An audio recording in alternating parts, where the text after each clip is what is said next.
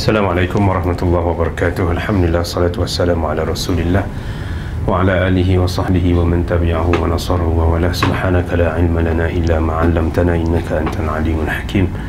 Rabbi syrah li sadri wa yassir li amri wa hlul 'uqdatan min lisani yafqahu qawli. Uh, Terima kasih Ustaz Firdaus uh, Adik sahabat-sahabat yang saya muliakan. Kalau nama talaqi kena baca nasiyan harfan biharfin lah patutnya begitu kan. Dan kemudian nak bagi sanad pun tak boleh sebab untuk ashum ni saya tak ada kat IOF lagi masa tu. Sanad muqatai awal lagi dah. Uh, cumanya saya sebagai awalannya saya mengucapkan terima kasih kepada Maisa dan juga Asas yang uh, menganjurkan program sebegini. Uh, kita cuba untuk melihat uh, saya tak rasa boleh habis pun. Uh, kita ambil sikit-sikit uh, kita buat dalam bentuk bersiri tapi tiap minggu tak boleh lah. Saya tak larat lah minta maaf. Sebulan sekali tu cuba insyaAllah. Uh, nah seminggu sekali saya tak larat lah. Terus saya cakap kalau sebulan sekali kita cuba fix date dan kalau ditakdirkan ditakdirkan Allah masa tu saya terpaksa travel dan kita cuba rearrange uh, untuk hari yang lain insyaAllah. Saya pun tak tahu kenapa dipilih uh, ma'iyar nombor 21 di antara ma'iyar yang payah sebenarnya tak tahulah sebab apa dia pilih 21 orang lain kali pilih yang mudah dulu kan. Mutajarah fil umlat ke. Yang senang-senang sikit tak payah sakit kepala sangat. Saya takut lepas ni tak ada orang mari dah. Takut amda lah dia ni cakap seorang-seorang kita cuba tengok beberapa perkara. Uh, Mi'yar 21 ini berkenaan dengan alas, alas hum dengan sanadat uh, sebelum tu kita ambil sikit sebanyak lah kita baca Mi'yar dia kita kenal dulu siapa tuan Mi'yar lah. Uh, IOF IOF ni semua kita tahulah Accounting and Auditing Organization for Islamic Financial Institution. Dia punya base nya di Bahrain. Dia ada banyak sekarang ni ada banyak apa ada tiga segmen dah. Ada tiga tiga apa tiga hayah hayah syariah satu accounting satu governance satu. Dulu ada dua saja. Syariah dan juga governance dengan accounting dia masuk sekali. Sekarang ni dipecahkan ada tiga board tiga board yang utama yang yang mengendalikan mi'yar-mi'yar yang berkaitan. Mi'yar syariah adalah yang melihat kepada mi'yar syariah. Mi'yar accounting yang melihat kepada muhasabah dan juga mi'yar yang berkenaan dengan haukamah dan sebagainya itu adalah mi'yar governance. Saya cuba tanya juga dulu eh, kepada masa mula-mula masuk dulu eh, dalam mi'yar dalam dalam hayat syariah dia apakah dia punya background pembentukan apa nama hayah-hayah yang ada. Dia katanya dia katanya uh, di antara yang mula-mulanya Syekh Nizam daripada awal lagi dia kata dulunya asalnya tak ada pun hayah syariah. Sebab tu dia nama hayah muasabah. Dia hanya ada uh, apa nama board untuk accounting saja. Asal-asalnya. Asal-asalnya. Uh, kemudiannya setelah dibuat board of accounting bila mana mereka melihat isu-isu accounting mereka perasan. Sebenarnya untuk nak buat keluar isu nak buat keluar mi'yar ataupun nak buat keluar standard untuk accounting ini ada banyak isu syariah yang tak settle rupanya. Ha, sebelum kita nak buat keluar accounting tu ada isu syariah juga yang perlu di apa nama di ditangani. Maka timbullah idea untuk menubuhkan hay'ah syariah yang membicarakan tentang standard-standard yang berkaitan dengan syarak. Yang daripada atas itulah yang akan yubna alaihi ataupun alaiha ma'ayir ni daripada atasnya itulah akan dibina ma'ayir-ma'ayir muhasabah atau ma'ayir muhasabah. Itu dia punya sejarah dia. Maknanya asalnya yang mula-mula ada adalah ma'ayir muhasabah bukan ma'ayir syariah. Kemudian barulah start ada ma'ayir syariah. Cumanya bila mana ada ma'ayir syar'i walaupun ada pada asalnya dia adalah sekadar nak support ma'yar muhasabah pada asalnya yang lebih popular kemudiannya adalah ma'yar syar'i lebih dari ma'yar muhasabah. Ha, ketika mana dan ketika orang bercakap tentang ma'yar ayufi pun dalam kepala orang mutabadir fizi adalah ma'yar syar'i walaupun pada hakikatnya ma'yar syar'iyah ni adalah untuk nak support holistiknya ma'yar muhasabah tu. Tetapi bila mana dia bergerak-bergerak-bergerak uh, yang hay'ah syariah ni lebih prominent lagi nak dibandingkan dengan hay'ah muasabah. Ha, menyebabkan orang bila sebut IOF orang akan tengok hay'ah syariah dulu. Hay'ah syariah dulu sebelum ma'iyah syariah dulu sebelum ma'iyah ma'iyah yang lain. Dan dia pun dah lama dah evolution dia. Uh, members dia pun keluar masuk keluar masuk. Uh, keluar keluar ganti-ganti lah maksud saya keluar ganti keluar ganti. Sekarang ni yang terkini ada kalau tak sayap selap saya 19 orang lah yang yang dalam bot sekarang ni 19 orang. Uh, saya tak kira. Saya ingat duduk, duduk, duduk, duduk apa? Setiap orang ni dia ada tempat duduk dia masing-masing dalam meeting tu. Jadi kita tahu dah. Uh, jadi saya kira-kira pun dasarkan kepada nama kebayaran kepala saya tempat-tempat duduk masing-masing tu. Kalau tak silap saya dalam 19 orang 15 orang lah. Uh, kalau tak silap saya lah. Menggabungkan keempat-empat mazhab Uh, menggabungkan Hanafi, menggabungkan Maliki, menggabungkan Syafi'i dan juga Hambali dan cuba atas, atas ada equal lah dari segi apa dari segi membershipnya. Uh, Syafi'i berapa orang Maliki berapa orang. Dan juga ada seorang daripada daripada Oman yang mazhab Ibadhi uh, Syekh Aflah. Hmm, Syekh Aflah mazhab Ibadhi uh, itu membership yang ada sekarang ni lah. Uh, daripada Saudi daripada daripada Jordan Syekh Shubair daripada Morocco daripada Libya daripada Malaysia daripada daripada apa nama uh, Bahrain uh, daripada Syria dan juga daripada uh, Syekh Nazih Ahmad paling jauh lah uh, Hafizahullah uh, Syekhna daripada Canada. Hmm, dia duduk Canada sekarang ni dia dapat kerajaan Canada.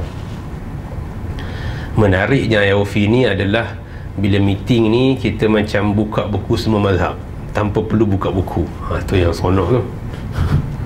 Kita buka buku semua mazhab tanpa perlu buka buku.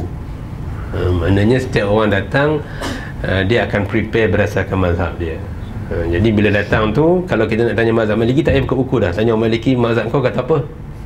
Dia pun nak tanya nak tanya mazhab syafi'i mazhab kau kata apa uh, mazhab syafi'i itijah malizi kata apa? Ha, lebih kurang begitulah yang selalu orang selalu sebut lah kan uh, mazhab syafi'i itijah malizi kata apa? Uh, kita bagi pandangan kita dan sebagainya lah.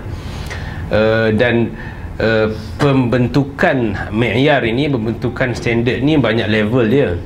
Uh, yang pertamanya adalah kita akan identify apakah ma'yar yang perlu dibuat mula-mula kita akan identify ma'yar apa yang perlu dibuat. Katalah kita identify satu ma'yar musyarakah contohnya ataupun ma'yar uh, ta'amul bil, bil asum wa sanadat contohnya. Maka kita akan apa nama taklif ataupun akan minta uh, seorang ataupun dua orang depending on berat tak beratnya topik tersebut. Kadang-kadang kita minta seorang kadang-kadang kita minta dua orang kadang-kadang kita minta tiga orang untuk buat bahas untuk buat bahas. Tu selalunya kita akan pilih orang yang uh, memang mendalam dalam bidang tu. Contohnya dia pernah buat PhD ke tajuk-tajuk yang berkaitan ataupun memang orang yang ni uh, maka dia akan ditaklifkan untuk membuat bahas kepada topik yang kita nak dia cover. Ok kemudiannya bila dia prepare dia bahas kita akan taklifkan satu lujnah sebelum sampai kepada hayat syariah ni ada lujnah-lujnah tertentu yang akan membahaskan dan juga si, cuba si, cuba sirohkan. Minta maaf saya cakap bahasa Arab bahasa Melayu sehingga campur-campur lah ya. Akan cuba buat dalam bentuk ma'yar Ha, lujnah tu merata-rata. Di Malaysia kita ada satu lujnah di Pakistan ada satu lujnah di Emirates ada satu lujnah di Kuwait ada satu lujnah di Saudi ada lujnah di Jordan ada lujnah uh, lebih kurang lah kot saya saya, saya Bahrain ada Bahrain tak ada saya rasa. Bahrain tak ada lujnah itu lujnah-lujnah yang ada. So kita akan taklifkan si muka si mukallaf bil bahas ni yang di, di, yang diminta untuk buat bahas ni untuk dia bentang di hadapan uh, syar'iyin ulama syarak yang ada dalam lujnah dan dalam setiap lujnah ni ada representatif daripada hayat syariah daripada syariah board di Malaysia ada rep, rep dia di Pakistan ada Syekhna Maulana Syekh Taki uh, di Bahrain ada sorry, di Emirates ada ada ada wakilnya di Emirates di Dubai di di Kuwait ada ada wakilnya di Saudi ada wakilnya dan begitulah. Maka mereka akan bincang dulu mereka akan siap musawadah mereka akan siapkan musawadah apa musawadah bahasa Melayu? draft. Maka mereka akan siapkan draft draft itulah yang kemudiannya uh, nak siap draft ni cakap senang lah tapi panjang ni. Beberapa kali meeting pun tak habis lagi. Kita kat Malaysia dah beberapa bulan dah tak habis-habis lagi satu draft. Draft BOT build operate transfer. Tak habis-habis sampai sekarang lagi pun draft ma'ayar tersebut kat Malaysia. Uh, dah habis dah dapat draft yang pertama tu maka dia akan uh, kita akan tengok juga adakah topik tersebut topik yang terlalu heavy ataupun tidak? Kalau topik yang heavy sangat-sangat umpamanya suku uh, sebelum sampai kepada hayat syariah kita ada satu lapis lagi. Cakap utara sikit-sikit tak apa lah kot eh? ada satu lapisan lagi iaitulah wakil-wakil daripada Hariah Syariah yang akan ada satu lujnah untuk takwim balik draft tersebut sebelum bawa kepada hayah umpamanya dalam sukuk ni oleh kerana dia heavy impact dia juga besar maka kita takwinkan kita bentukkan satu lujnah pertengahan di antara lujnah yang akan bentang lujnah yang buat dengan hayat syariah dan itu ada saya ada Syekh Nizam ada Syekh Syubaili orang-orang yang biasa-biasa yang orang kata apa yang main dengan biasa main dengan sukuk ni. Kita letak dia satu lujnah lagi untuk nak menik, nak melihat balik adakah uh, sirah ataupun adakah draft yang dipersiapkan oleh lujnah ini sudah sesuai untuk nak dibawa kepada Uh, kepada hayat syariah tapi kalau boleh di expedite boleh diteruskan tanpa perlu ke jenah tersebut maka kita akan terus bawa kepada hayat syariah maka hayat syariah akan bincanglah dan akan uh, cuba untuk lihat balik kepada sirah draft yang ada dan perubahannya memang banyaklah selalunya. Kadang-kadangnya kita sibroh balik kita sirah balik yang part-part kebanyakan part tu ulang balik buat balik semula dalam banyak hal. Uh, dan meeting ni pula uh, panjang. Umpamanya ma'yar zahab yang adik-adik tengok yang tuan-tuan tengok dulu tu kita habis meeting 8 hari untuk nak siapkan ma'yar zahab ma'yar zahab tu banyak hari kita ni. Dua kali meeting satu kali meeting 4 hari. So 8 hari lebih kurang untuk habis ma'yar zahab. Uh, Mi'yar emas uh, Mi'yar zahab yang emas uh, Dah habis semua dah Dah siap si boroh kali pertama tu Ataupun draft kali pertama Musawadah yang di yang disiapkan Ataupun yang di uh, dibentangkan kepada uh, Hayat Syariah Dan dipersetujui Akan di dibentangkan ke pula kepada Apa nama Majlis terbuka. Hmm, Majlis terbuka Yang dibuat di beberapa negeri. Kalau masih ingat kat Malaysia pernah buat sekali dulu. Ketika mana kita ada di Lanai, Lanai Kijang ke Sasana. Saya tak, saya, saya tak ingat. Uh, pasal Zahab pasal emas dulu. Kita pernah buat sekali kat Malaysia kat Sasana ucap saya uh, kita buat pembentangan di Malaysia pasal musawadah tu draft tu kita open kepada public. Siapa nak datang untuk apa nama public hearing datanglah. Dan boleh komen dan sebagainya. Dah habis semua dah kat situ 2-3 tempat yang kita buat. Segala komentar-komentar yang ada itu dibawa kembali kepada Mahayat Syariah untuk difinaliskan ha, dah habis semua tu barulah akan keluar macam mana yang tuan-tuan tengok ni lah dalam buku dan sebagainya. Itu dia punya proses yang ada untuk untuk apa? Untuk satu-satu ma'yar dikeluarkan. Ok boleh? Dan ma'yar ini tak ada mazhab. Ma'yar ni tak ada mazhab. Minta maaf lah bukan saya orang tak bermazhab tapi itulah hakikat ma'iyar ini makna ma'iyar ini kita berdasarkan kepada apa yang paling rajah dan juga paling bersesuaian dengan dengan praktis ataupun dengan praktikal yang ada di di di dalam kewangan Islam terutamanya. Okey. Dan uh, macam-macam lah uh, uh, mazhab maliki dengan dengan cuba defend pandangan malikinya orang syafi'i cuba defend pandangan syafi'inya orang hambali dengan pandangan hambalinya uh, dan itu semua adalah isra' kepada perbincangan yang ada lah. Uh, dan dalam banyak hal mulahazah peribadi saya uh, mazhab maliki di antara mazhab yang banyak digunakan. Hmm, mungkin kerana kerana kesesuaiannya. Terutamanya ulama-ulama mazhab maliki yang berada di Andalus saya pada pandangan saya uh, mungkin kerana suasana di Andalus yang terbuka tu menyebabkan uh, banyak idea-idea yang baru yang diketengahkan kepada ulama-ulama pada masa tersebut. Uh, kena ingat di Andalus ketika mana umat Islam memerintah Andalus umat Islam adalah minoriti bukan majoriti. Yang memerintah Andalus pada masa itu adalah umat Islam dan mereka adalah minoriti Ha, jadi banyaklah isu-isu yang berkaitan ta'ayusnya. Jadi mereka lebih terbuka nak dibandingkan dengan mazhab-mazhab yang lain dalam bab muamalat. Hmm, sebab tu kalau siapa bab, bab muamalat usul usul buyuk malikiyah ni kena faham dan kena hadam. Hmm, kalau tidak dia punya pemahaman muamalat dia memang kadang-kadang mungkin agak tak tak begitu lengkap. Usul buyuk malikiyah mesti kena hadam mesti kena faham dan mesti kena jelas apakah usul buyuk malikiyah buyuk ajil dan sebagainya. Okey, itu secara umumnya. Dan dalam membuat keputusan kita melihat kepada majoriti. Hmm. of course kita cuba untuk mendapatkan apa orang kata apa uh, secara ijma'i. Tetapi manusia ni adalah manusia setiap orang dia ada dia punya itijahat dia sendiri ada cara fikir dia sendiri ada pandangan dia sendiri ada environment dia sendiri ada cara hidup dia sendiri menyebabkan kadang-kala untuk nak dapatkan satu pandangan 100% bersetuju susah. Hmm. bahkan kadang-kadang kita vote menang satu je. Sebagai contohnya uh, mi'yar zahab. Mi'yar zahab. Ha, ini debate lama sungguh nak nak sampai kepada keputusan duit ah, sorry zahab yang bukan daripada bentuk uh, dinar dan dirham itu adakah dia kekal sebagai saman ataupun dia sudah menjadi silah boleh faham maksud saya eh?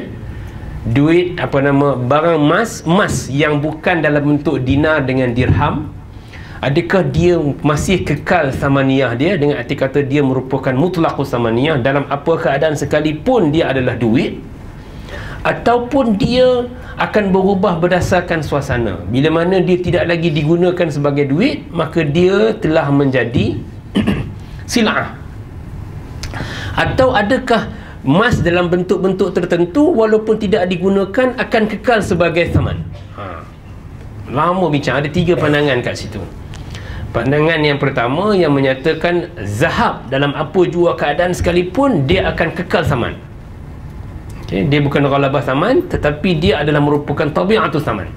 Dengan arti kata dalam keadaan apa sekalipun walaupun dia dalam bentuk yang bukan lagi dijadikan duit walaupun dalam bentuk uh, kita apa nama buat perhiasan ke apa ke dia kekal sebagai zahab. Dia kekal sebagai saman maka untuk pertukaran dia maka ter, tertakluk kepada ribawi item. Ataupun amwal riba ribawiyah. Itu pandangan yang pertama. Pandangan yang kedua menyatakan bahawasanya duit ah, sorry zahab dalam bentuk huli maka dia bukan lagi saman tetapi dia merupakan silah maka pertukaran-pertukaran yang berlaku ke atasnya ini pandangan Ibn Taymiyah, Ibn Qayyim, Syekh Sukhardawi dan sebagainya uh, Ibn Muflih Uh, dalam dan Imam Muflih dalam mazhab Hamali dan sebagainya mereka berpandangan bahawasanya duit ya sorry emas yang dalam bentuk huli maka dia adalah merupakan silah bukan lagi merupakan saman. Itu pandangan yang kedua. Ada lagi satu pandangan yang lebih apa orang tahu apa? Bukan ekstrim. Dia tak ada istilah ekstrim dalam fiqah ni. Selagi mana ada usul yang kuat ada apa nama taksil fiqhi yang qawi maka kita tak namakan sebagai ekstrim. Dan juga kita tak namakan orang tu mutasahil. Ha? orang kalau orang tanya syekh dia tu mutasahil ke tidak? Dalam fiqah kita tak macam tu. Kita tak ada istilah tasahul kita tak ada istilah ekstrim. Istilah dia betul tak betul tu je. Kalau seorang tu mengeluarkan pandangan usul istimbat dia tidak kuat dan juga manahij istilal tidak betul walaupun rizat dia betul tetap tak betul eh, tetap tak betul dari segi syarak dan jika sekiranya seorang yang mempunyai usul istimat yang betul manahid istidlal yang betul di segi syarak walaupun pandangan dia tu dan dan pandangan tersebut bukanlah pandangan yang pelik dari segi syarak dan mengikut kawaid lughah arabiah yang sahihah maka walaupun pandangan tu kita nampak pandangan Allah mudahnya pak cik ni contohnya lah kan eh? Kalau betul istimbatat yang betul begitu Maka itu bukanlah satu pandangan yang kita anggap sebagai mutasahil Tetapi pandangan fiqhi. Setuju tak setuju itu soal Soal kedua. Ha, Itu pandangan orang belajar fiqah Orang tak belajar fiqah itu tak ada soal lain. Ha, Kadang-kadang kita tengok orang buat keluar pandangan Walaupun pandangan tu sama dengan kita Tapi bila tengok tengok usul istimbat Istilah dia mengarut ada ni. Ha, Sebab dia tak belajar. Kalau dalam fatwa kita panggil Ar-Rikakah fil fatwa. Ar-Rikakah fil fatwa dia punya fatwa tak tak solid kita kata tak solid. Uh, pandangan yang ketiga ini mengatakan bahawasanya emas dalam bentuk apa sekalipun hatta dalam bentuk jongkong sekalipun dia adalah silang kita mu macam kata eh, Syekh Lish ada tak, tak sebut nama lah kan eh? dan Syekh ni pula bukan main-main menyuruh orang lah. Dan ketika mana dia berhujah kita nak jawab balik pun fikir dua kali lah Maknanya tak mudah-mudah nak kata hadha mardud. Cara dia berhujah dan sebagainya tu fikir hmm, betul juga dia ni. Ha, kita terpaksa orang kata apa kita jamak kita mensyam balik untuk nak menjawab pandangan dia dia mengatakan bahawa dia ra'i yang kata pandangan aku zahab dalam zaman sekarang ni tidak boleh dikiaskan dengan dinar tidak boleh dikiaskan dengan dirham tidak boleh apa uh, kalau orang nak main gol apa nama main ni seronok dengan perkataan ini uh, tapi pada saya uh, ini pandangan yang agak orib lah. Pandangan yang agak orib dan dia pada dia dia kata saya tulis masa tu. Dia kata saya tulis saya tunjukkan dia syekh hakadha ra'yuk dia kata sahih hadha ra'yi kata wallah gharib. Dia kata wallah hadha gharib. Gharib lakin dia kata itulah hakikatnya pada hari ini. Saya kata wallah hadha gharib. La yaqulu ahad la yaqulu ahad. Ana aquluhu. Aku kata ana aqulu bihi dia mengatakan bahawasanya emas dalam bentuk apa sekalipun melainkan dalam bentuk dinar dirham yang memang diniagakan. Di, di apa di, dijadikan sebagai saman. Walaupun dalam bentuk jongkong ke dan sebagainya dia adalah bukannya apa nama dia seorang saja. Di kalangan semua syurga tu dia seorang aja pandangan dia. Uh, mengatakan bahawasanya itu adalah merupakan tetap sebagai silah. Okay. Maka kita pun dah lama dah dekat satu hari setengah dah tak habis benda tu buka orang kata tengok sana tengok sini kita kata tak kesudahnya. Sebabnya masing-masing dah ada pandangan yang dah di, dia dah, di, dah dibincang apa semua so kita kata kita vote lah. Dan kita vote uh, menanglah pandangan yang mengatakan bahawasanya emas ini dia adalah sebagai saman dalam apa dalam keadaan sekalipun. Itu majoriti yang ada. Yang itulah ma yasiru alaihi al-mi'yar dalam bab zahab dalam bab. Itulah pandangan yang dipakai dalam bab zahab dalam dalam bab emas dalam uh, dalam ma'yar IOFI tetapi dalam hal-hal tertentu kita buat note juga kepada orang menganggap begini begini. Sebagai apa? Sebab khilaf khilaf itu khilaf yang terlalu qawi. Eh, khilaf yang terlalu qawi khilaf yang kuat sangat dari segi syaraknya itulah sikit sebanyak berkenaan dengan ma'yar IOFI yang yang bagaimana cara pembentukan ma'yar uh, dan Uh, berdasarkan pengalaman saya secara peribadi lah orang lain mungkin pandangan yang lain tapi dari segi apa yang berlaku begitu. Maka keluarlah mi'yar yang macam tuan-tuan tengok. Lebih kurang begitulah. Allahu alam sawab uh, saya kena habis awal sikit hari ni. Saya ada meeting pukul 9.30 uh, saya beritahu Ustaz Fidah dah tak sempat nak ijaz dah. Bukan meeting-meeting apa nama over the phone call aja. Uh, tapi tak cukup tak cukup quorum tak boleh buat decision. Uh, teleconversation saja daripada orang daripada Bahrain. Nak settle tu tiga benda. So kita akan lebih habis awal sikit minggu ni. insyaAllah untuk masa-masa akan datang kita cuba elokit masa lebih sikit.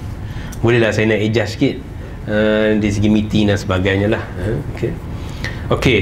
Uh, kita akan bicarakan mi'yar ashum. Akan membicarakan tentang mi'yar ashum. Kalau uh, antum perasan dalam ma'yar ashum ni dia menggunakan kalimah dia kata yahdufu hadzal ma'yar ila bayani ahkamil asmu syarikatil musahamah. Okay, musahamah. Syarikat apa syarikat musahamah ni? Di Malaysia tak ada syarikat ni. Hmm, kita tak ada nama begini. Kita ada company-company yang berbeza-beza tak sama macam mana apa yang ada. Kalau dalam negara Arab sebab tu kalau tuan buka dalam apa dalam dalam musyarakah dalam dalam mi'yar musyarakah dia menceritakan tentang uh, apa nama syarikat muasirah. Semua tak dipakai langsung kat Malaysia. Sebab apa nama pembahagian syarikat itu tak sama macam mana pembahagian syarikat di Malaysia. Dia bicara tentang syarikat tadamunnya syarikat tausiah basitahnya syarikat tausiah bil ashumnya syarikat muhasahnya. Nama-nama tu bukan nama-nama yang ataupun bentuk-bentuk yang ada di Malaysia dia berbeza-beza dengan bentuk di Malaysia. Okey. Di Malaysia ni kalau orang saya tengok ada tiga orang lawyer kat sini betul kan saya kalau saya silap berkenaan dengan syarikat ni? Uh, kita ada dua jenis apa nama bisnes kat Malaysia. Yang pertama kita ada sole sole prop dan juga partnership. Sole prop dengan partnership betulkan saya kalau saya silap adalah suatu syarikat yang tidak terpisah daripada syaksiah apa nama afrod daripada individual ownership. Maknanya kita sole property memanglah dah kita seorang-seorang. Jadi jadi apa-apa betul eh? Kalau jadi apa-apa memang kita akan menanggung. Maknanya kalau company tu bankrupt dia bukan stop kat company saja. Dia akan turut sama meng, ada efek kepada owner of the company secara peribadi. Maka dia akan boleh si pemiutang eh? pemiutang orang yang orang yang kita hutang kita pemiutang eh? eh? kreditor eh, pemiutang eh?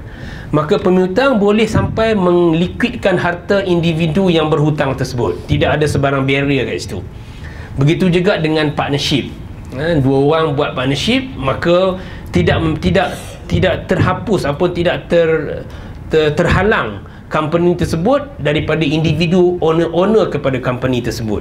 Itu adalah yang pertama. Dalam hal ni dalam dua ni sole prop dengan partnership dia tidak ada limited liability punya konsep. Dengan arti kata kalau company tu bankrupt company tu berhutang dengan orang si pemiutang boleh go after even harta orang yang berhutang tersebut yang memiliki company tersebut dan mi'yar dan isu tersebut tidak disentuh oleh mi'yar ashum. Tak ada kena mengena langsung. Dia tak masuk langsung kat situ. Okey? Itu yang pertama. Ha, nak nak nak ihtirazat dulu ni. Nak buang benda-benda yang tak berkaitan dulu sebelum kita nak bincang mi'yar ni. Okey. Kemudiannya kita ada lagi lepas tu kita ada limited liability company kita ada apa nama sendian berhad kita ada berhad Kesemua tu ada makna-makna yang tersendiri. Limited Liability Partnership yang berdasarkan kepada Act tahun 2012 kalau saya. Uh, Limited Liability Partnership Act 2012 iaitulah dia membezakan daripada partnership ha, dia sudah ada limited liability issue dengan dikata jika sekiranya saya contohnya orang lain lah kot cerita bankrupt ni cerita orang lain lah uh, si Abu dengan Ahmad dengan Ali membentuk limited liability partnership okay tiba-tiba company tu bankrupt. Kreditor tidak ada hak untuk datang mengambil ataupun go after dia orang punya harta. Dia hanya stop kepada company itu saja. Ha, dia sudah ada satu kita namakan sebagai legal entity atau dalam bahasa Arab kita kata syakhsiyah atibariyah kepada company tersebut. Maknanya kalau siapa dia dengan company tersebut dia dengan company itulah dia tak akan boleh pergi kepada orang pemilik company tersebut. Okay? Dan tanggungjawab pemilik kepada company tersebut hanya limited kepada apa yang dalam company tersebut saja. Kalau orang berhutang dengan company tersebut, maka dia boleh claim hanya hutang kepada company tersebut. Dia tak boleh kata siapa owner dia. Abu dengan Ali, dia datang minta duit daripada Abu tak boleh dah. Stop kat situ saja. Okay, itu limited liability partnership ataupun LLP kita kata kan. Eh? Uh, bahasa Melayu tu apa lah. Kemudian ah PLT. Ah, apa tu? Perkongsian liability terhad. Ha, okay, terima kasih. Bahasa Melayunya perkongsian liability terhad. Kalau bahasa ini kita panggil LLP lah limited liability partnership. Kemudiannya kita ada lagi pula lepas tu kita ada sendian berhad dengan dengan berhad. Sendian berhad adalah company yang di mana uh, di owner oleh uh, up to 50 orang kalau silap kan eh? uh, ownershipnya up to 50 orang. Dan dia juga mempunyai syakhsiat antibariah yang berkaitan. Mana dengan arti kata lain dia terpisah langsung daripada daripada pemilik ataupun orang yang mempunyai saham dalam company tersebut. Kalau jadi apa pada company itu, maka orang yang deal dengan company itu perlu faham dia tak boleh nak pergi cekak baju uh, orang pemilik-pemilik saham. Kenapa? Tidak ada kena-mena dah. Stop kat situ je lah. You declare the company bankrupt, company bankrupt tidak bermakna pemilik ataupun pemilik saham dalam company itu juga akan mem- mendapat efek yang sama. Tak ada. Tak ada kena-mengena. Berbeza dengan partnership dengan sole proprietorship. Yang kedua itulah berhad. Ha, berhad public syarikat awam kita panggil ya. Syarikat awam berhad. Ha, ini adalah cuma syarikat apa nama private yang tadi uh, senior berhad tu dia tak tak ada listed. Yang ber, awam berhad inilah yang akan dilisted di atas apa nama bursa saham dan tadawulnya adalah berdasarkan kepada bursa saham. Apa yang dimasukkan oleh IOF standard al-asum wasanadat ini adalah yang akhir tadi. Itu matlamat dia. Okey. Adapun yang sebelum-sebelumnya bukalah mi'yar musyarakah. Bukan mi'yar di sini. Ha, jangan silap salah jangan salah pergi mi'yar. gaduh setengah mati lalah rupanya silap tempat ha? silap rumah ha? jadi okay? begitu jugalah contohnya ha, ada pernah berlaku satu case court yang saya terlibat sebagai expert opinion uh, tak kira apa tak cerita lah ha? Jadi hamba Allah yang sebelah sana tu berkemai guna IOF standard dalam bab musyarakah. Dia kata IOF kata macam ni kata macam ni kata macam ni kata macam ni. Dia terlupa satu benda. IOF standard adalah bab musyarakah membicarakan musyarakah dalam bentuk syarikatil akad dia tak bincang syarikatul mil. Sedangkan kita duk gaduh sama ni syarikatul mil. Dia pun bawa lah hujah daripada IOF saya kata yang dia nakal tu semua betul belaka. Cumanya tak kena tempat sebabnya kita punya tahqiqul manat isu kita sekarang ni adalah isu syarikatul milk. Dan IOF standard dalam bab musyarakah hanya membicarakan tentang syarikatul akad. Jadi segala provision-provision yang dia kod-kod-kod tadi tu fi ghairi mahalli tak kena dengan tempatnya nak diberhujahkannya. Kenapa? kerana orang cerita A dia cerita B jadi tak boleh tak kena lah dari segi tempatnya. Ha, kena kena clear betul. Okey, ini adalah kepada uh, namun terdapat beberapa provisi-provisi bahasa Melayu provisi kan provision kan? Ha, beberapa klausa-klausa yang ada dalam IOF standard masyarakat dalam ASHUM ini boleh juga terpakai kepada beberapa setup-setup tertentu. Dalam beberapa clause dia tak semua clause beberapa clause dia. Umpamanya boleh juga terpakai kepada PE kita akan sempat kot saya hari ini sebelum kita berhenti uh, PE apa nama? Private equity. Uh, bahasa Melayu panggil apa private equity? Tak apa kot dia boleh faham maksud saya lah eh? okay, private equity umpamanya uh, private apa dia? Persendirian equity. Apa dia? Equity persendirian boleh lah kot. Equity persendirian. Saya dah fikir pada tadi lagi apa dia private equity ni? Uh, cuba cari dalam, dalam kereta pakai pakai pakai handphone pun tak jumpa cari private equity apa? Equity persendirian betul tak Okey betul lah eh? Okey, kita dah biasa guna istilah-istilah tu kan PE, VC dan sebagainya. Modal teroka kan eh? Orang AC pandai sikit buat terjemah bahasa Melayu ni. Mereka duduk study selalu. Apa nama Ada beberapa kelas-kelas yang terpakai tentang PE secara tak langsung. Dan kelas tu juga ada dalam bab musyarakah. Okey. Okey, boleh kita mula Okay, itu adalah yang pertama So kita kena faham Ma'ayar ashum wa sanadat ini Lebih banyak terpakai Terutamanya dalam bab tadawul nanti Masalah isdar dan sebagainya Adalah kepada company yang listed Okay. Sebab tu dia bincang kat sini masalah apa? Masalah boleh tak kita beli saham yang bercampur? Boleh tak kita beli saham yang bercampur? Saham campur ni masuk ada ada business company tersebut ada yang patuh syariah, ada yang tidak patuh syariah. Dibincang dalam ni. Sedangkan kalau company tu company kita punya tak timbul isu tu dah. Tak boleh kita nak guna ujah ni untuk kita buat satu company, kita buat benda yang haram juga dalam company tersebut. IOF kata boleh. IOF bukan isu ownership kita. IOF isu, isunya kita invest dalam company yang listed yang kita tak boleh control. Ha, itu isu dia.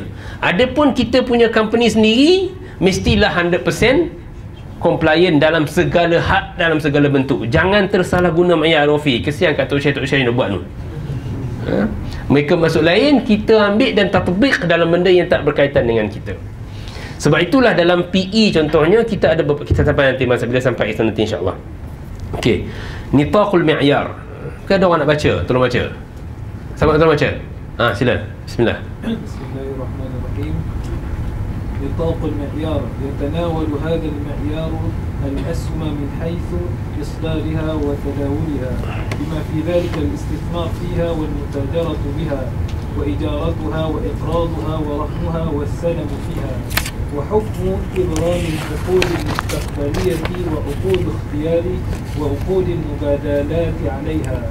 كما يتناول هذا المعيار السندات التي تصدر تصدر تصدر تصدر بفائدة ربوية من حيث حكم إصدارها حكم من حيث حكم إصدارها وتداولها ولا يتناول هذا المعيار صكوك الاستثمار لأن لها معيارا خاصا بها Okey, ini kita dalam IOF standard memang ini perkara biasa. Kita akan sekupkan dulu.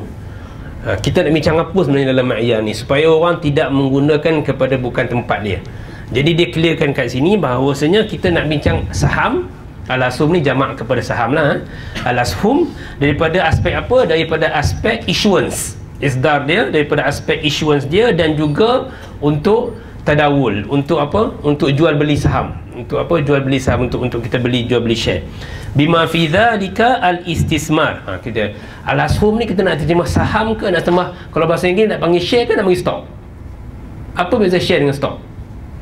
Saya nak tanya dulu kita manhaj kita ni nak kita apa? Nak pure syariah ke? Nak ada ada flavor moden ke? Nak tatbik moden ke? Atau macam mana? Nak tanya dulu. Supaya kita saya tak terlalu ni sangat dan juga tak terlalu ni sangat. Nak macam mana? Hybrid. Oh ini hebat ni. So kita akan berdasarkan itulah mana kita akan ambil kita akan ambil taksil fiqhi dan kita tatbik muasir. Boleh eh? Kita agree on that matter boleh eh? Okey, soalan pertama apa beza share dengan stock? Dah nak moden sangat kan? Apa beza share dengan stock? Orang kata pasaran saham. Bahasa Melayu sama je tak? Kan? Saham. Apa beza?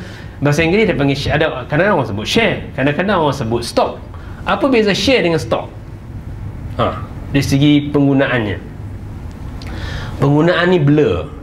Macam kita juga blur memang penggunaan ni adalah penggunaan yang orang menggunakan secara interchangeable ha? apa nama saling interchangeable lah kan eh? boleh guna ni boleh guna ni cumanya dari segi takbir yang daqiq stok ni adalah share adalah bila kita kata kita tak pernah kata saya memberi kita tak kata share market kita panggil stock market kita kata stock market kita tak share kita tak kata share market.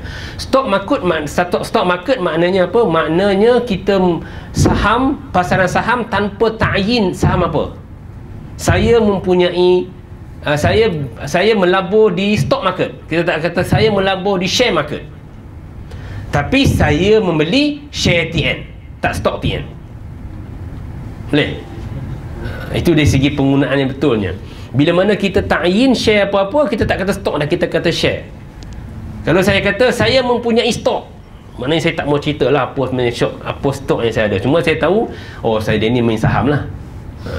tapi saya kata saya ada share TNB ha, contohnya. Ha, contohlah kan eh? ha, pada masa tu secara ta'yinnya itu beza di antara share dengan stok dari segi penggunaannya yang, yang betulnya. Ok ha, bahasa Arab sama je lah.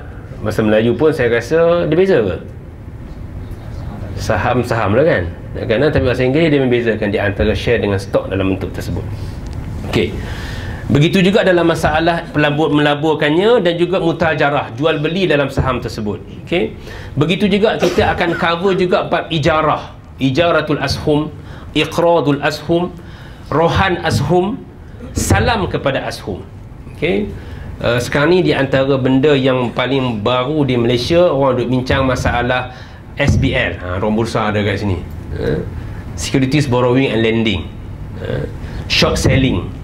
Uh, Apa nama? Uh, dalam Kalau dalam banking sekarang ni Bank negara telah membenarkan Short selling kepada GII ha? Government Investment Issue. Macam mana nak berlaku GII dan dia kata kat sorry short selling dan dia kata GII tersebut mestilah di coverkan dengan SBL macam mana berlaku security kita insyaAllah sampai tempatnya kita akan bincang masalah SBL dan sebagainya. Dibenarkan tak SBL kalau dibenarkan takif fikirnya macam mana? Bolehkah kita kita jual saham ma'a istisna'il manfa'ah ha? al-bay' ma'a istisna'il manfa'ah sebagai contohnya dalam hadis Nabi SAW yang dari Jabir itu yang membicarakan al-bay' ma'a istisna'il manfa'ah kan ha? yang dia jual dia jual unta pada Nabi dia istisna' al-hamlu ilal Madinah Ha, tak apa sampai masa nanti kita bincang benda tersebut insyaallah bukan hari inilah dekat pukul 9 dah. Ha, itu di antaranya apa nama dibenarkan ataupun tidak. Dia panggil al-bai' ma'a istisna'il manfa'ah. Saya jual rumah pada pada saudara, saya kata boleh tak aku jual rumah kat engkau sekarang tapi bagi aku duduk setahun. Boleh tak dari segi syarak? Ha, al-bai' ma'a istisna'il manfa'ah ataupun kita kata juga bai'us dunia atau sania. Ada orang baca sunia, ada orang baca sun, sania boleh, boleh. Okey ni saya sebut ni. Okey boleh eh? Tak apa tak kerti pun nanti sampai masa ni kita akan ambil topik-topik tersebut yang berkaitan. Saya sekadar nak nak nak buka ni okey? Boleh ke tak boleh? Kita buat dalam bentuk SBL di di di Saudi dulu masa kita buat SBL kat Malaysia dia orang kata apa benda pelik-pelik ni? Baru-baru ni dia punya tadawul membenarkan short selling. Maka dia pun pun kecoh telefon doktor buat macam mana? Baru ni dia ada satu conference di bukan conference dia punya close door discussion di bank Milad dia panggil untuk bagi mentang paper berkenaan dengan baik al-makshuf. Baik al-makshuf short selling lah. Baik al-makshuf boleh tak boleh. Kalau boleh apakah kontrak yang digunakan? Macam mana kita nak buat apa nama uh, SBL Security Borrowing and Lending? Apakah kaedah yang digunakan? Apa semua tu? Kita bincang tahun 2008 dulu kat Malaysia. Hmm, masa saya masih menasihat advisor bursa masa tu. Kita buat benda tu tahun 2008 SBL uh, Securities Borrowing and Lending. Maka kita pun invent kita kata al-bay'u ma'al wa'd bisyira' ai ai siapa nanti tak ingat al al bai'u ma'al wa'd bisyira saya baru buka file balik lupa lah nama cerita lama.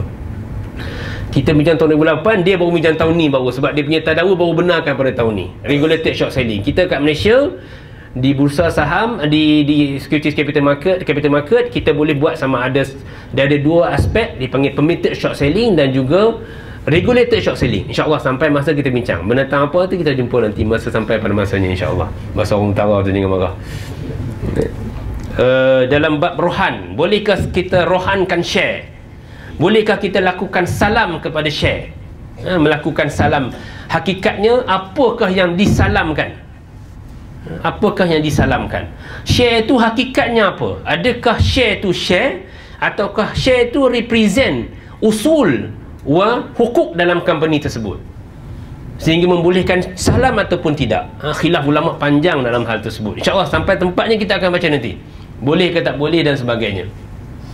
Uh, IOF mengambil sikap tidak dibenarkan salam di share yang terbaru di Saudi bulan lepas kalau tak silap Syed Nizam bagi tahu ada ada conference saya tak pergi tak, tak, tak pergi. Dia beritahu dia kata Syekh ghayyarna khalas.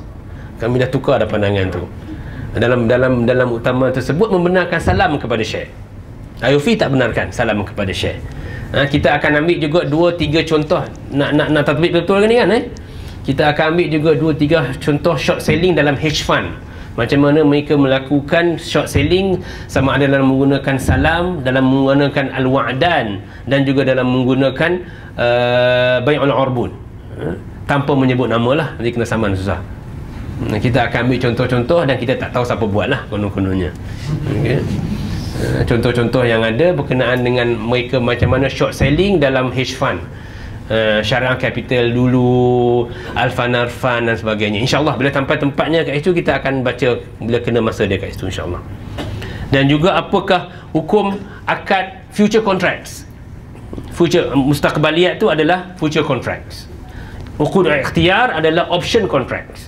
Dan juga mubadalat adalah swap contract dia akan bincang dalam semua perkara tersebut sama ada dalam masalah hukum dalam bab option contract dalam bab future contract dan juga dalam swap contract yang berkaitan dengan saham dan juga sanadat okay? dan juga dia akan bincang juga sanadat ataupun bond yang yang tusdar yang di apa nama yang diisu dengan ada interest income kat situ yang ada bond mesti ada interest lah ha? Bond is IOU kita akan bincang juga apa apakah bond apakah hakikat bond apakah khilaf Syekh Abu Zurah dulu berkenaan dengan bond uh, Syekh Syekhi uh, berkenaan dengan bond dan sebagainya. Kenapa berlaku khilafat yang berkaitan dengan bond? Ada yang kata bond ni sepatutnya dibenarkan majoriti kata tak boleh dan sebagainya. Kenapa? Kita akan sampai kat tempat bond nanti insyaAllah. Uh, okay. uh, tetapi dia tidak membicarakan tentang suku. Suku keistisman ni maksudnya suku. Suku lah suku suku yang sebagai ganti daripada bond tu Islamic Securities tu suku dia tak bincang tentang suku sebab dalam suku ada satu ma'iyar yang asing berkenaan dengan dengan suku itu adalah kita kata mehwar ataupun apakah yang akan dibincangkan oleh IOF dalam ma'iyar-ma'iyar ini boleh sambung Okey, sebelum tu, ha, sebelum kita bincang bab tu, uh, saya punya paper dulu lama dah, tak, tak ingat dulu kat mana dah, hilang mana dah. Saham ni apa sebenarnya? Ha, ini yang pemahaman saham ni apalah yang akan membina di atasnya segala khilaf-khilaf fiqhi yang kemudiannya. Ha, simple je. Saham ni apa? Itulah yang akan boleh sal boleh salam tak boleh salam boleh iqra tak boleh iqra boleh uh, rohan tak boleh rohan semuanya yang bani alaihi ala hadzal khilaf al asli. Ma huwa al ashum ma hiya al ashum atau ma huwa saham apakah saham ada dua itijah fuqaha. Tanya pelambat nak jawab ni. Uh, so saya tanya saya jawab lah. Senang cerita okay. tak apa kita belajar. Uh, dia yang paling hina di dunia ni adalah orang yang tak tahu tapi belagak tahu. Itu adalah orang paling hina di sisi Allah. Orang yang paling mulia di sisi Allah adalah orang yang tahu dan dia tahu dan dia mengajar orang yang tahu. Mengajar orang tak tahu sorry. Dan juga orang yang tak tahu tapi dia belajar untuk tahu itu orang yang mulia sisi Allah orang yang hina ni adalah orang yang tak pandai tapi belagak pandai. Orang utara kata apa? Uh, bod, bodoh tak boleh nak ajak sekedik tak boleh nak tumpang. Lebih kurang begitu lah kot eh, masa orang utara kan bodoh tak boleh nak ajak tak, tak mau terima orang ajak. Tapi cerdik siapa tak boleh tumpang cerdik dia? Maknanya tak, tak boleh guna sedikit lah orang tahu kata lebih kurang masa orang tahu ok ok apakah saham dan apakah takhif fikhi saham ini satu isu yang besar juga yang dibincang oleh fuqaha Secara umumnya para fuqaha bersetuju bahawasanya company pada zaman moden ini telah mempunyai syakhsiat i'tibariyah yang berasingan, legal entity yang berasingan. Dengan erti kata bahawasanya dia seolah-olah hidup secara individu. Dia boleh mendapat hak dan dia juga boleh menerima wajibat. Okey, lahu huquq wa alai laha huquq wa alaiha wajibat. Syarikat zaman moden ini adalah umpama seorang manusia yang dia boleh mendapat hak dan dia juga ada kewajipan yang dia perlu tunaikan. Dia boleh menyaman dan dia juga boleh disaman. Dia boleh menyaman dan dia juga boleh disaman seolah individu. Dan dia adalah satu zimah maliyah mustaqillah. Satu apa nama limited liability yang mustaqillah daripada ashab dia daripada orang yang mempunyai saham tersebut. Dengan arti kata itu agreement yang ada. Ha, macam mana dengan berkeluar zakat?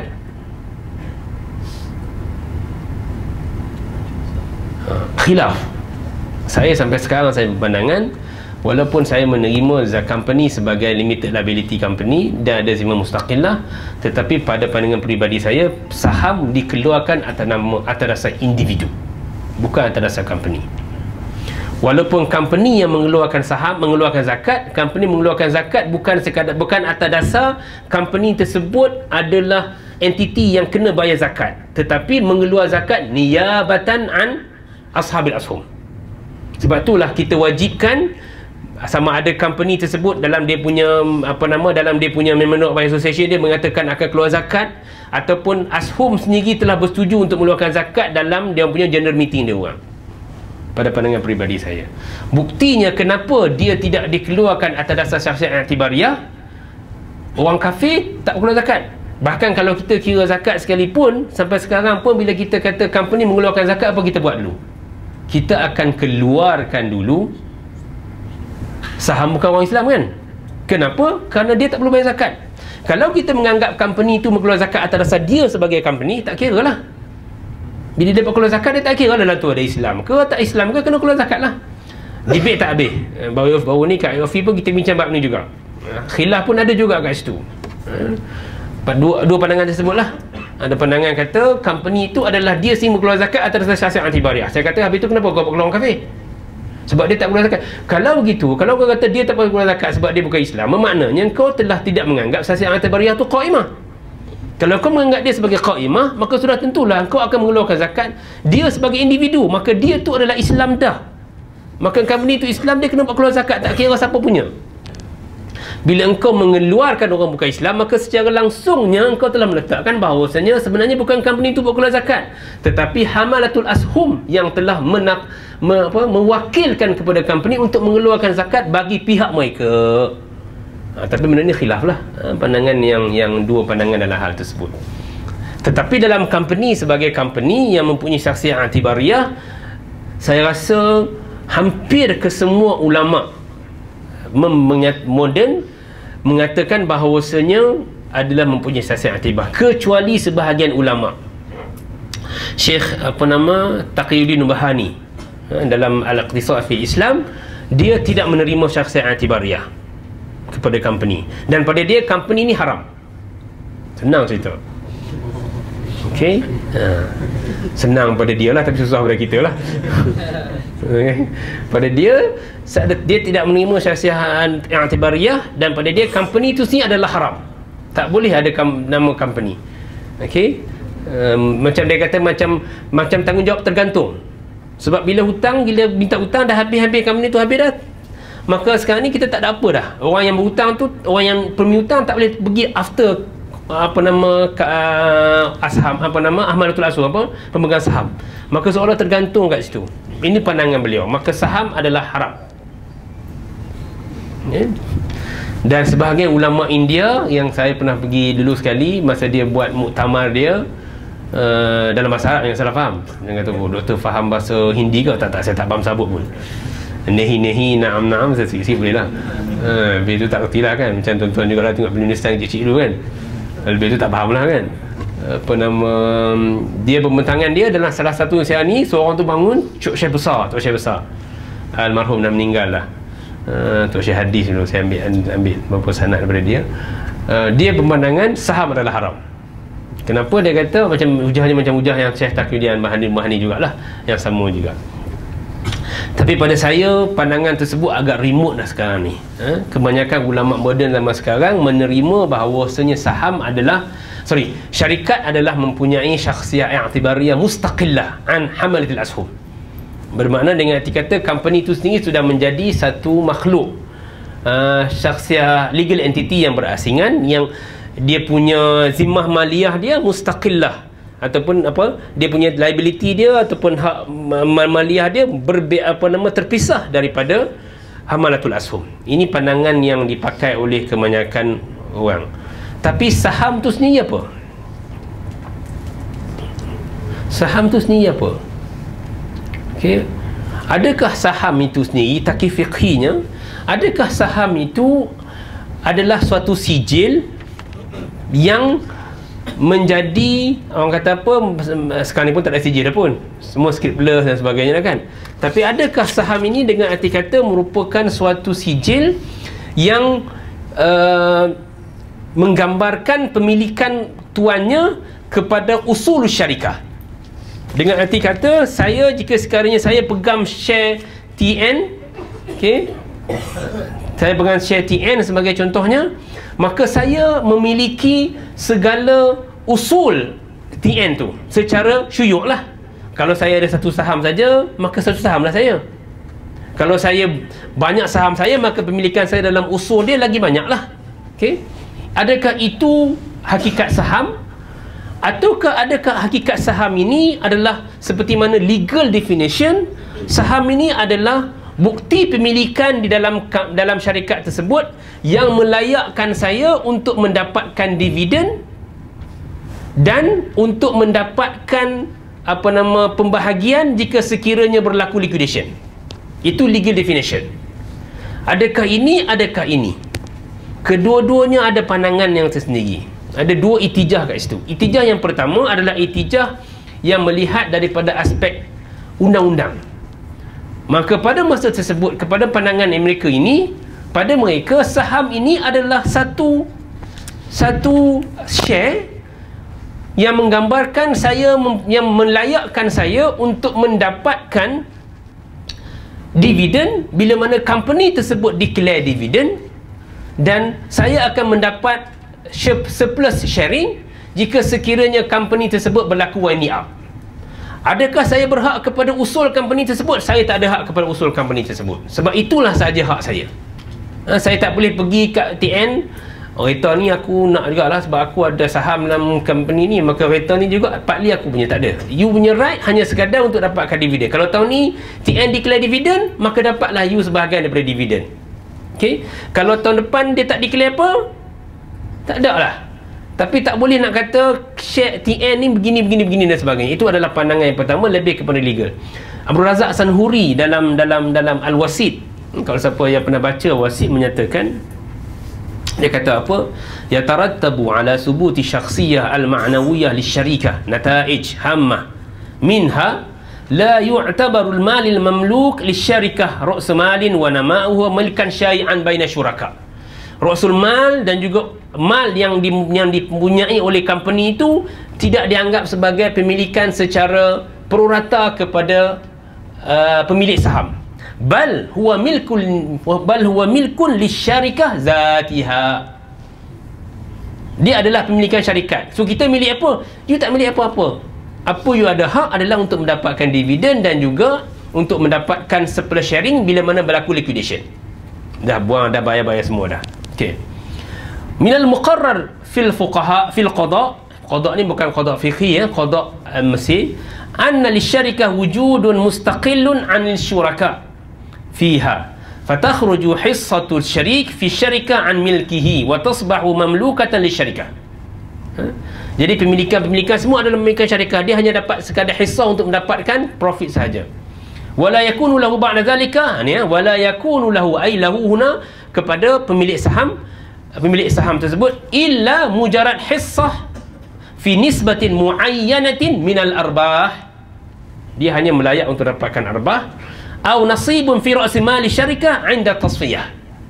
Kalau berlaku liquidation berlaku foreclosure wind it up selepas dah buang segala kreditor punya hak dan sebagainya yang berbaki itulah kita akan bahagi berdasarkan kepada prorata pemilikan kita lain daripada tu kita tak ada hak untuk nak claim apa-apa ini adalah itijah yang dekat dengan itijah kanuni Okay. Maka pemilikan saham tiada kena mengena dengan pemilikan aset-aset dalam syarikat tersebut. Itijah ini adalah itijah sebahagian ulama masa kini. Ha, kalau saya boleh sebut sebahagiannya uh, Syekh Taqi Nubahani uh, dia tak bagi langsung puas hati ya. Syekh uh, Syekh Khuna Syekh Muhammad Al-Qari, Syekh Yusuf Syubaili, Syekh Husin. Syekh Husin ni ada dua pandangan. Yang terbaru saya kata tanya dia dia kata la la la la hisatun fil fil fil usul. Uh, dia ada dua pandangan ya yeah. uh, Syekh Hussein Syekh Nizam Syekh Nazir Hamad Syekh Mukhtar Sulami dan beberapa syuh-syuh yang lain mereka lebih itijah kepada ni. apa efek dia kita akan ambil dalam bab salam nanti hal yajuzu as-salam fis saham boleh tak kita melakukan salam dalam saham? Kita akan bincang nanti. Bila tempat dia nanti. Lambat lagi tengah-tengah nanti. Kalau panjang umur insyaAllah. Itu itijah yang pertama. Itijah lebih kepada itijah kanuni itijah yang kedua itulah itijah IOF sebab tu dia tak benarkan salam dalam dalam saham. Ha, kalau baca IOF dia tak benarkan itu. Sebab apa dia tak bagi? Ha, ini punca dia kat sini. Okay? dia kata IOF punya itijah dan juga inilah merupakan itijah majma' itijah IOF dan itijah Syekh Taqi Osmani dalam fiqhul buyuk kitab dia dan beberapa ulama-ulama yang lain okay? dalam majma' fiqh dawli dia nyatakan dengan jelas bahawasanya al-musahim fi syarikah yamliku hissatan sya'i'atan min al-mawjud min mawjudatiha eh? al-musahim fi syarikah pemegang saham dalam syarikah yamlik memiliki hissatan sya'i'atan min mawjudatiha memiliki hissah sya'i'ah daripada mawjudat ataupun daripada usul syarikat tersebut ha, itu jadi clear Maknanya bila saya pilih pegang saham TN, hakikatnya saya adalah pemilikan saham ini represent apa? Represent hak saya kepada segala usul-usul yang ada dalam TN tersebut. Kereta ke, rumah ke, apa pun uh, hukum maknawiyah ke, copyright ke apa ke, maka pemilikan saya berdasarkan kepada hisah syariah saya tadi. Kalau saya ada banyak, banyaklah ownership saya. Kalau sikit, sikitlah ownership saya. Ini adalah dalam majma' uh, fiqh dawli dalam koron dia di Doha pada tahun 1423 Hijrah dan juga ini juga merupakan majma' rabitah benda yang sama juga al-musahim yang sama juga. Dia menggunakan perkataan yang sama juga. Yang meliku hissatan syai'atan fi mawjudati syarikah. Yang ke atas mawjudatiha yang bawah mawjudati syarikah. Samalah. Itulah juga Okay. Itu begitu juga dengan IOF standard IOF kalau tengok dalam mi'yar kita akan sampai nanti. Syadah dia kata apa? Syahadatul ashum wasiqatun tathbutu syar'an milkiyatal musahim li hissatin sya'i'atin fi mawjudati syarikah okay, itu IOF standard yang kita akan sampai nanti. Dia kata kelikat bila kita ada syahadah saham ni maka dia merupakan satu wasiqah satu apa? Satu bukti yang menunjukkan pemilikan musahim kepada mewujudat syarikah itu adalah pandangan Yofi dan ini juga adalah pandangan yang dimukakan oleh Syekh Zarqa uh, dalam dalam dalam madkhal dia. Dan juga pandangan inilah pandangan yang dimuka oleh ulama-ulama lain seperti Syekh Taki, Syekh Sata dan sebagainya. Okey. Apakah kesan dari perbincangan ni? Okey. Contohnya kita nak buat salam. Bismillah dah bagi masa saya kena berhenti dalam 5 minit lagi boleh kita sambung ma- masa akan datang insyaAllah okay. contohnya salam okay. apa apa salam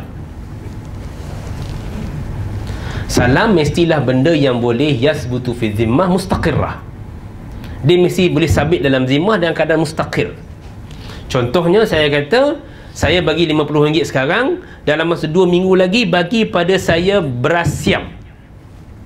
Tak boleh tukar beras tak siam. Dan semua orang tahu beras siam tu apa? Kalau orang tahulah tak semua orang tahu maksudnya orang yang kita kita buat salam dengan dia tu dia faham. Beras siam tu dia tahu apa dia. Mana kalau kita buat basmati dia tahu ini bukan bas, bas siam lah. Ni basmati tu pun tak kerti okay, benda tu tahu. Dan benda tu tak berubah-ubah maka beras siam tu beras siam tu lah. Dia tak akan tiba-tiba eh tukar jadi beras apa Malaysia panggil berapa beras beras beras tempatan ha. beras supu tempatan. Tak ada orang tahu beras siam tu macam mana. Pada orang yang tahu lah saya pun tak tahu juga pun. Mana tapi orang tahu. Tetapi kalaulah kita katakan bahawasanya salam tu adalah merupakan saham ni adalah merupakan saham dan dia adalah sertifikat itulah merupakan saham dia tidak menggambarkan maujudat yang ada dan sebagainya maka boleh saham tak? boleh saham sebab apa? boleh salam tak? boleh salam sebab apa? sebab saham tu tak akan berubah saham TN saham TN lah sampai bila pun dia tak akan tiba-tiba tukar jadi saham apa? saham Dabi tak ada memang akan jadi saham TN maka bolehlah berlaku salam sebab dia boleh sabit fizimah dan dia benda tu tak akan berubah tapi kalau kita kata saham ini represent dia punya usul. Usul berubah-ubah tak? dia tak akan stabil. Melainkan company tu tak buat apa dah. Selagi mana company tu buat bisnes maka usul dia akan berubah-ubah. Hari ni mungkin duit dia banyak ni. Dia punya usul banyak ni. Jadi bila mana kita nak buat salam boleh tak buat salam? tak boleh. Sebab kita kata hari ni kita beli Okey, aku buat aku buat salam dengan salam dengan kau sekarang ni untuk engkau submit pada aku saham uh, TN dengan uh, 20 saham TN kepada aku pada 20 uh, 20 hari akan datang. Ketika mana kita buat salam tersebut, kandungan usul TN sama tak dengan 20 hari akan datang? Tak sama. Jadi benda tu tidak boleh berlaku saham sebab ghair mundabit. Ha, itu di antara khilafat sebab-sebab yang menyebabkan berlaku khilaf kat situ saya punya pandangan beza nanti minggu depan kita bincang dalam perkara tersebut insyaAllah. Kalau sampai kat itulah kalau tak sampai lagi pun 2 bulan lagi. Sebab salam ni dia kat tengah-tengah sikit. Kalau tak sempat minggu depan kita tengok masa akan datang. Ini baru satu muka surat pun ni. Tak mula lagi pun ni. Baru nak masuk sikit baru kan. Eh, baru suku baru kan kita berhenti dulu kat situ. Ada nak tanya apa-apa tak sebelum kita berhenti minta maaf lah saya pasal lebih awal sikit hari ni. Minggu depan uh, bukan minggu depan bulan depan insyaAllah. Minggu depan saya tak mampu lah minta maaf banyak-banyak ya. Yeah. kita nak tanya. Yang ijazah yang pertama tu yang dia kata saham itu saham tu tak represent usul ha. Ha, hanya sekadar represent ke hak ataupun represent hak ataupun right pemegang saham untuk mendapatkan dividen dan juga mendapatkan aset bila berlaku liquidation ha, ya. Kesan daripada dia menganggap syarikat itu sebagai apa? Aksi iktibari. Sama je. Kedua-dua lahir batu juga. Itu tak ada khilaf. Dia tak ada kena dari segi segi gitu. Cuma dia melihat dari segi mahiyahnya. Sebabnya bila mana kita mendapat zaman moden ni dia dia dia cuba combinekan syar'i dengan kanuni, syar'i dengan legal. Sebab dia kata hakikatnya kita duduk bergaduh setengah mati. Kata saham represent ownership dalam aset Ya sungguh ke? Ada ke tiba-tiba kita boleh pergi ke ATM uh, Ni saya nak ambil sikit lah nah, Sebab saya punya ni. Sebab saya saya adalah owner Tak pernah berlaku pun.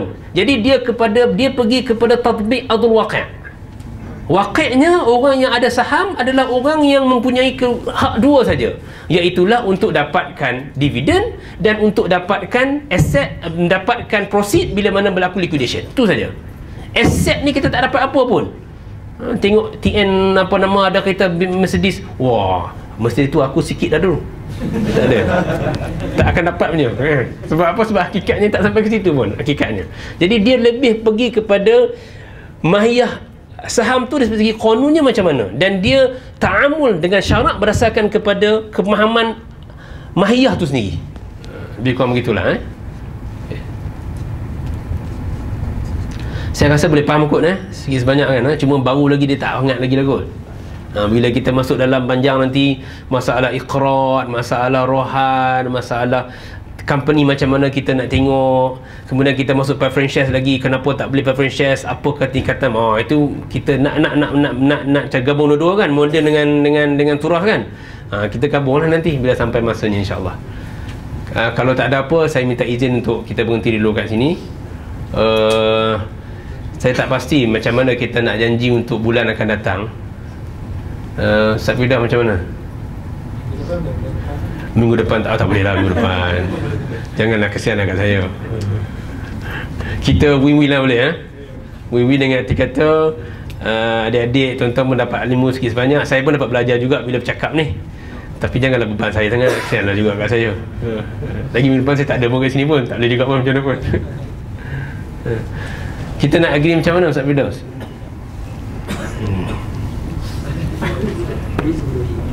Kalau boleh kalau boleh bagi dua minggu sekali. Tapi kalau tak boleh kita kita buat sebulan sehari lah kot? Boleh. bagian merdut. Orang meniaga beli saham ni pun dia tak ada ni dia quoted share. Bila quoted share ni tak boleh bagian Hmm, dia beli apa aja nak beli tak nak sudah. Dia tak boleh bagi-bagi sangat. Lagi bidang. Ah gurau je jangan jangan ambil, jangan ambil real lah saya gurau je guys apa nama kita buat sebulan sekali boleh? Kalau kita boleh agree masa so saya boleh allocate awal-awal lah. Ha, jadi tak taklah saya boleh manage saya punya perjalanan saya punya kerja dan sebagainya lah.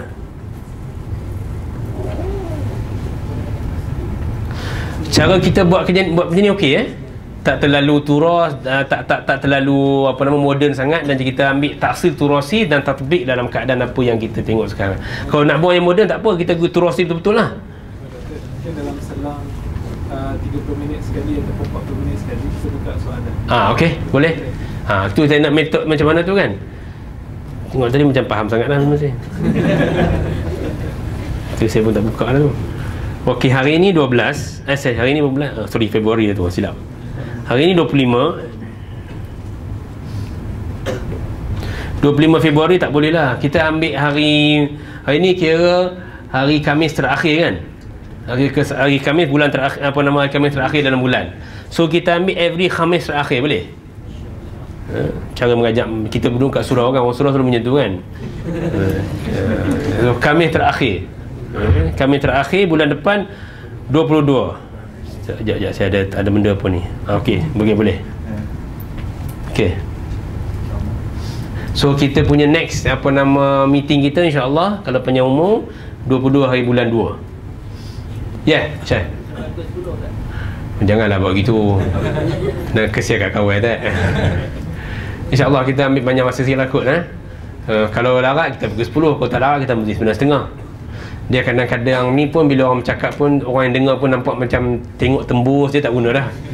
Uh, Kita buat pukul 10 pun mengambilkan koror je Mengambilkan mukoror je.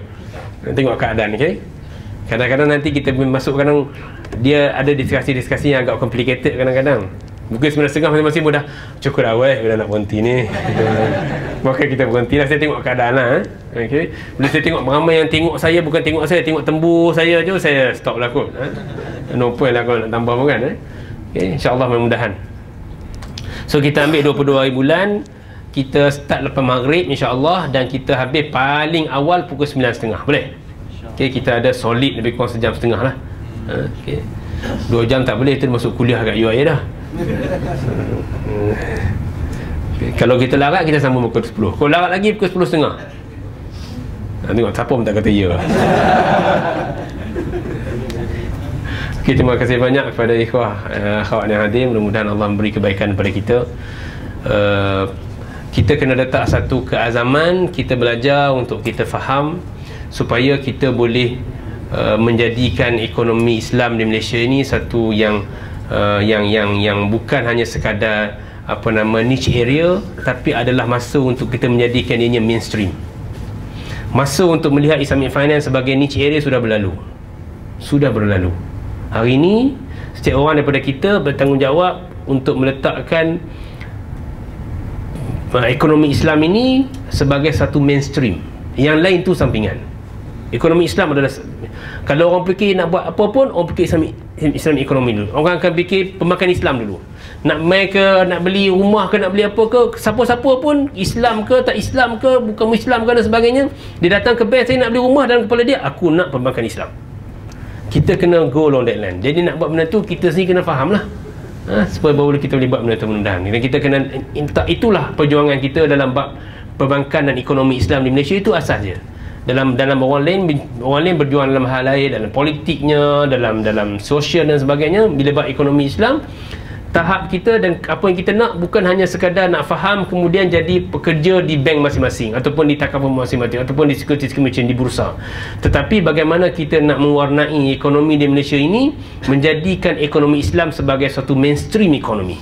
Bukan niche area tapi satu mainstream mana orang akan melihat ekonomi Islam ni merupakan anchor. Dan satu hari nanti mudah-mudahan Allah bagi kesempatan kita untuk melihat Islam ekonomi Islam di Malaysia ni merupakan sesatunya ekonomi yang ada. Bukannya sekadar mainstream lagi dah. The economy. Ha, bukan major the economy. Mudah-mudahan Allah bagi kesempatan kepada kita untuk untuk melakukan benda tersebut. Terima kasih banyak. Uh, aku liqauli hadza. Astaghfirullah alaikum assalamualaikum warahmatullahi taala wabarakatuh